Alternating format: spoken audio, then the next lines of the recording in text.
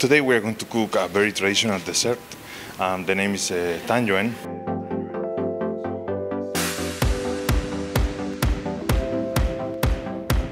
Uh, we made some uh, traditional uh, Chinese desserts. I'm not exactly sure what it's called. It's very traditional for the Lantern Festival. We got to make our own little little dumplings. Um, it's quite difficult, but it was a lot of fun.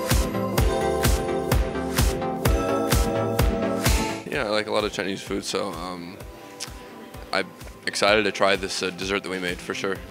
I love Chinese food. I, I think it's uh, you know, very different. It's flavorful. Um, the spices, maybe not so much. I know Chengdu is known for its spicy food, so that's uh, I've been trying to stay away from that. And then we had a little uh, contest of who could make them faster. Okay, time is up.